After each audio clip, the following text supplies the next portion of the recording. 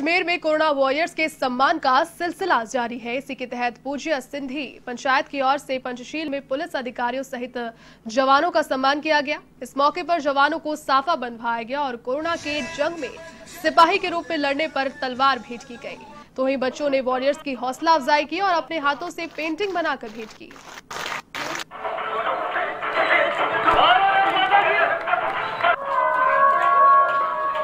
पीछे आओ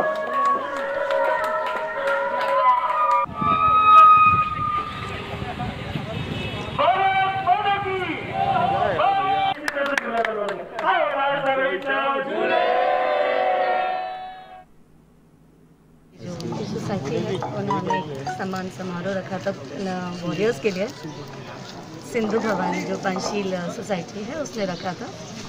और इन्होंने एक तरीके से ये जो लंबी जंग अभी रही है, उसमें पुलिस का जो कार्य रहा है, उसकी सराहना हेतु ये रखा था, जो कि एक अपने आप में भाव दूर करने वाली हम लोगों के लिए इवेंट है।